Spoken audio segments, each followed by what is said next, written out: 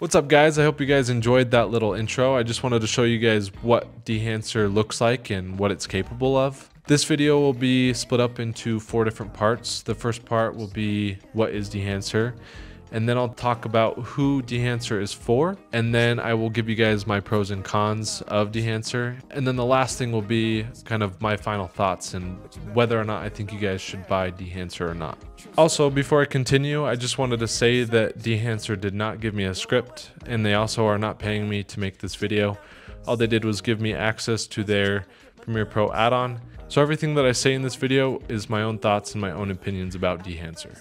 Okay, so what is Dehancer? Dehancer is a film emulation add-on that you simply just drag and drop onto your footage and then you can select from their many different film looks and you can play around with the grain and the halation and the bloom to get the look that you are wanting. Next, who is Dehancer for? Honestly, I think Dehancer is for anybody. Whether you are a beginner and you've never even really colored in your life, it's so easy, so simple. You just drag and drop it onto your footage, mess around with the settings until you got the look that you want. Or if you're a professional videographer and you've been doing this for years and you already know how to color, this can really speed up your process that much more. So now I'm going to talk about the pros and the cons. I'm going to start with the cons first because there's only a couple of them and they're really not that big of a deal. The first one being when you first drop it onto your footage, it automatically gives you a look. I don't like this because I prefer to just start from scratch and build from the bottom and build from nothing. Um, but you can still get around this and you can just go through and uncheck all of the boxes to start from zero. My next con would be that it takes forever to render and it takes a long time to export. Unless I'm missing something, I haven't found a way around this. The only thing I've been able to do is just turn off Dehancer while I'm editing my video. And once I'm done and I've got the layout of my video done, I'll go back through, turn on Dehancer, and then I'll just make sure all of my clips look how I want them to look. And then I'll hit the export button, but still it takes a long time to export. So if you guys know any way around this, please let me know. As far as pros, I love the Rec 709 transformation. I've always tried using a bunch of different LUTs to transform my footage from log to Rec 709, and they just never look right. And that's one thing that Dehancer has done really well. Another thing would be their grain. I've always tried using like grain overlays and they just never look right. What Dehancer allows you to do is select how much grain you want in the highlights, the midtones, and the shadows which helps you get your footage to actually look like film.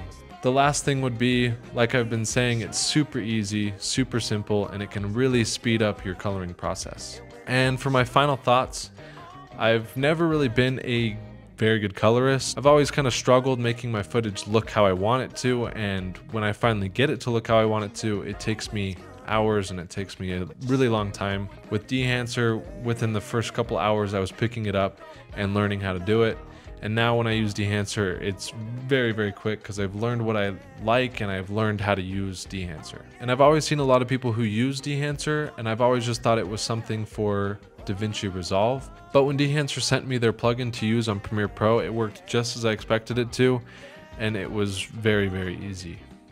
So if you guys were to ask me if I'd recommend you guys buy this, I would say yes, and I think it's 100% worth it.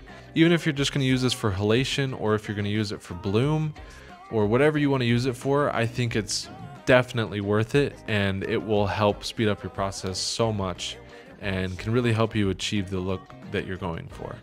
And if you guys are planning on buying Dehancer, I'll leave a link down below in the description.